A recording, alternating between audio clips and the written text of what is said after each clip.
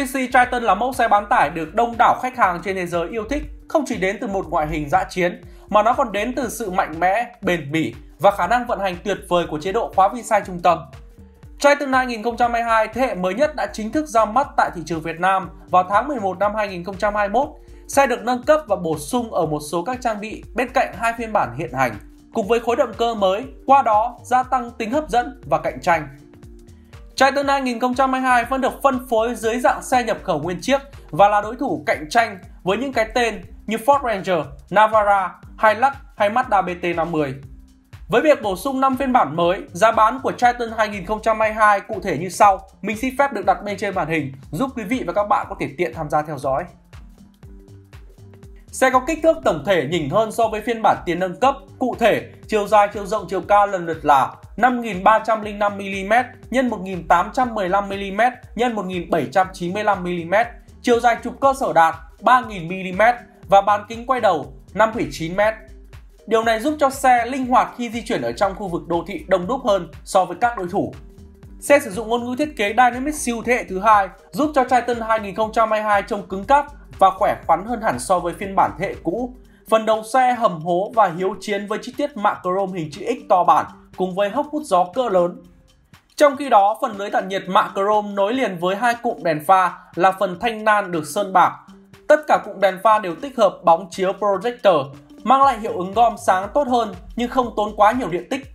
Các phiên bản được trang bị đèn pha LED còn được tích hợp đèn LED chiếu sáng ban ngày, đi kèm tính năng tự động tắt bật hiện đại Thân xe có thiết kế vô cùng mạnh mẽ và cứng cáp, nổi bật là phần vè bánh trước trông rất gần guốc. Bên cạnh đó, la răng hợp kim 18 inch có cách tạo hình 6 chấu kép hai tông màu đều được sử dụng trên các phiên bản cao cấp, trong khi các phiên bản thấp hơn sử dụng la răng hợp kim 16 và 17 inch. Ngoài ra, cụm gương chiếu hậu có thiết kế khá sang trọng, gương chiếu hậu được trang bị chỉnh gập điện, tích hợp đèn xi nhan báo rẽ và sấy gương. Phần đuôi xe vẫn có các điểm nhấn thể thao và cá tính như tay nắm thùng sau mạ chrome vuông vức kết hợp với bệ bước cản sau dạng thể thao. Thùng xe của Triton 2022 vẫn duy trì kích thước giống với phiên bản cũ, đặc biệt thiết kế G-Line tiếp tục được áp dụng trên phiên bản nâng cấp giúp tối ưu vị trí đặt hốc bánh xe, đem lại diện tích sàn lớn hơn, hạn chế góc chết giữa hốc bánh xe và khoang cabin Tiến vào không gian bên trong, thiết kế G-Line một lần nữa lại mang tới không gian nội thất rộng rãi cho Triton. Chất liệu sử dụng bên trong nội thất vẫn tương đối phổ thông với chất liệu nhựa giả da. Vô lăng của xe được thiết kế thể thao có thể điều chỉnh 4 hướng và tích hợp điều chỉnh âm thanh tiêu chuẩn. Riêng các phiên bản cao cấp có vô lăng bọc da, tích hợp lẫy chuyển số và kiểm soát hành trình cruise control. Bảng đồng hồ táp lô của xe có thiết kế thể thao, hai bên là cụm đồng hồ tốc độ và vòng tua máy, trong khi chính giữa là màn hình hiển thị đa thông tin LCD trực quan và bắt mắt. Ghế ngồi trên xe được bọc 3 loại chất liệu, thứ nhất là nỉ, thứ hai là nỉ cao cấp và cuối cùng là da, tùy theo từng phiên bản. Hàng ghế trước được thiết kế thể thao, ôm lấy cơ thể người lái, giúp vận hành địa hình xấu không bị lắc ngang. Tất cả các phiên bản đều được trang bị ghế lái chỉnh điện từ 4 tới 8 hướng tùy theo từng phiên bản, trong khi ghế hành khách phía trước vẫn được trang bị chỉnh tay 4 hướng cơ bản. Hàng ghế thứ hai của Triton có không gian khá thoải mái nhờ thiết kế G-Line. Độ nghiêng lưng của hàng ghế này lên tới 25 độ, lớn nhất trong phân khúc.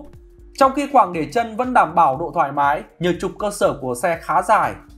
Trang bị tiêu chuẩn trên xe bao gồm đầu đĩa CD, radio tích hợp kết nối với USB, Bluetooth, trong khi phiên bản cao cấp được trang bị màn hình giải trí kích thước 6,75 inch, tích hợp kết nối với Apple CarPlay, Android Auto, USB, Bluetooth truyền thống, đi kèm là hệ thống âm thanh 6 loa cao cấp hơn. Các phiên bản tiêu chuẩn sẽ được trang bị điều hòa chỉnh tay, trong khi bản 4x4 MT MiVac được trang bị điều hòa tự động. Còn lại các phiên bản cao cấp được trang bị điều hòa tự động hai vùng độc lập. Riêng phiên bản Premium có thêm cửa gió phía sau cho hành khách tích hợp phía trên trần.